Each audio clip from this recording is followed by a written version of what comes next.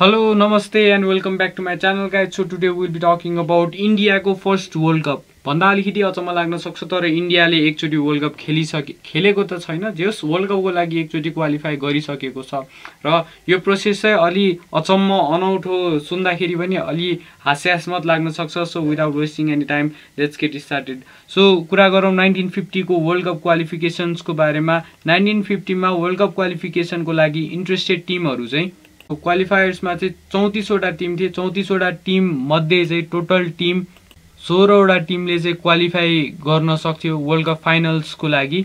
यसको लागि चाहिँ ब्राजिलले एज अ होस्ट क्वालिफाई गरिसकेको थियो र इटालीले चाहिँ नाइन्टिन फिफ्टीभन्दा अघिल्लो वर्ल्ड कपको डिफेन्डिङ च्याम्पियन्स भएको कारणले गर्दा डाइरेक्ट स्लट पाइसकेको थियो र चौधवटा स्लट्स चाहिँ खाली थियो जसलाई चाहिँ ग्रुप वानदेखि सिक्स ग्रुप ग्रुपहरूमा डिभाइड गरेर वर्ल्ड कप क्वालिफिकेसन भएको थियो र टोटल दसवटा ग्रुप क्रिएट भएको थियो वर्ल्ड कप क्वालिफिकेसनको लागि जसमा युरोपबाट वान टू सिक्स र सेभेन टू नाइन अमेरिकालाई र ग्रुप टेन चाहिँ एसियाको लागि भनेर छुट्याइएको थियो र एसियाबाट वर्ल्ड कप क्वालिफायर्समा पार्टिसिपेट गर्ने टिम चाहिँ इन्डिया बर्मा इन्डोनेसिया र फिलिपिन्स थिए। र इन्डिया चाहिँ यो टाइममा क्वालिफाई गरेको थियो तर अनफर्चुनेटली इन्डियाले चाहिँ एक गेम पनि अनफर्चुनेटली भनौँ या लकिली इन्डियाले चाहिँ एक गेम पनि नखेलिकन डाइरेक्ट वर्ल्ड कपको लागि क्वालिफाई गरेको थियो किनकि बर्मा इन्डोनेसिया र फिलिपिन्सले चाहिँ त्यो बेलामा विड्रु गर्दै क्वालिफिकेसनको लागि नजाने भनेर घोषणा गर्दै। र इन्डिया चाहिँ डाइरेक्ट एसियाबाट क्वालिफाई भयो.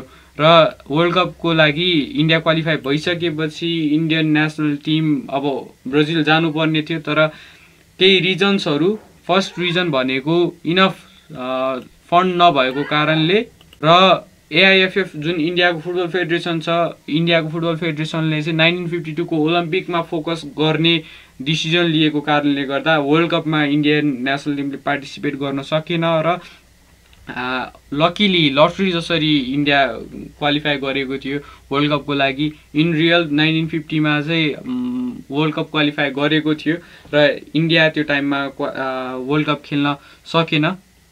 र त्यो टाइममा चाहिँ वर्ल्ड कप पनि अलिक डिफ्रेन्ट तरिकाले भएको थियो। फर्स्टमा चाहिँ तेह्रवटा टिमलाई चाहिँ चारवटा ग्रुपमा डिभाइड गरिएको थियो र चारवटा ग्रुपको चाहिँ विनरहरूलाई चाहिँ फाइनल राउन्डको लागि क्वालिफाई गरिएको थियो र फाइनल राउन्डमा फेरि त्यो ग्रुप टप हुने चारवटा टिमले चाहिँ राउन्ड रोबिन गेम खेलेका थिए जसमा उरुग्वेले तिन गेममा दुई जित र एक ड्र निकाल्दै वर्ल्ड कप च्याम्पियन बन्न सकेको थियो नाइन्टिन फिफ्टीको वर्ल्ड कपमा। सो अमेजिङली वर्ल्ड कप एकचोटि इन्डियाले क्वालिफाई गरिसकेको छ। त्यसो राम्रो गरून्। नेक्स्ट अब ट्वेन्टी ट्वेन्टी सिक्सको वर्ल्ड कप क्वालिफिकेसनमा पनि राम्रो गरून्।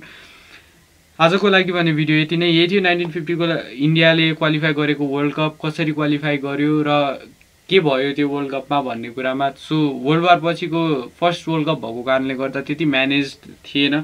सो आजको लागि भने भिडियो यति नै। च्यानललाई सब्सक्राइब गर्न भिडियोलाई लाइक गर्न नबिर्सिनु होला। वान टिम वान गोल जय नेपाल।